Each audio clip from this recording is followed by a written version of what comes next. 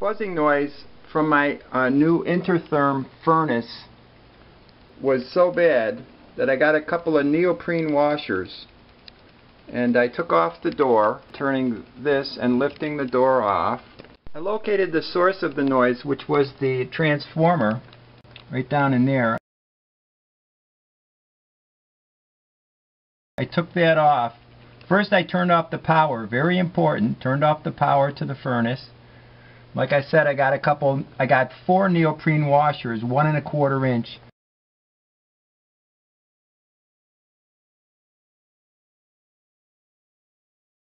Used a uh, a 5 8 inch screw here instead of the uh, half inch screw that came with the furnace because now that I've built it up it's going to be hard hard to uh, attach it. The electricity is turned off, remember that.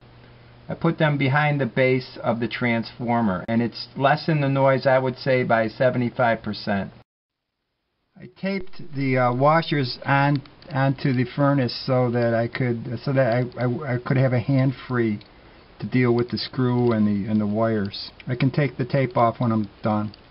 Now I've screwed everything into place here. I'm just going to remove this scotch tape and uh, the buzzing 75% less.